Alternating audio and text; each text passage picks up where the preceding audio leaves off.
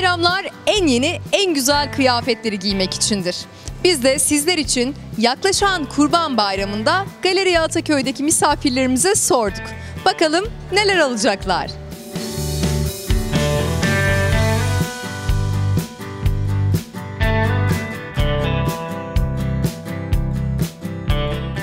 Çoluğa çocuğa bir şeyler alacak mısınız? Alacağız.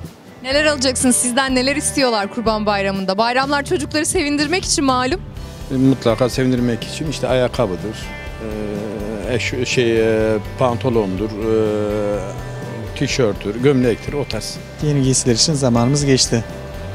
Onun için eee çoluk çocuğa alırız. Onun haricinde bize bir şey yok. Galeri Ataköy Alışveriş Merkezi'nden alışveriş yapıyor musunuz? Bayram için.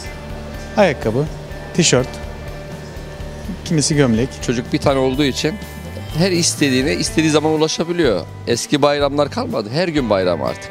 Özellikle bayram için isteği de olmuyor öyle mi? Olmuyor, olmuyor, sevinmiyorlar. Bizim çocukluğumuzdaki gibi değil artık çocuklar. Her şeye her an çabuk ulaşabiliyorlar. Çocuk sevindirecek misiniz? Kızımı alacağım kızıma. Kızınıza neler alacaksınız? Var mı sizden talepleri? Kızlarım telefon istiyor, tablet istiyor. İstiyor, istiyor valla. Kaç yaşında? 10. Evet alışveriş yapmayı düşünüyoruz. Neler alacaksınız bayram için? Olma bayramlık alacağım, pantolon alacağım, tişört alacağım, ayakkabı alacağım. Neler istiyorsun bayram için? Babandan ne istedin? Söyle bakalım. Ee, bilmiyorum ki. iPad falan mı istedin yoksa?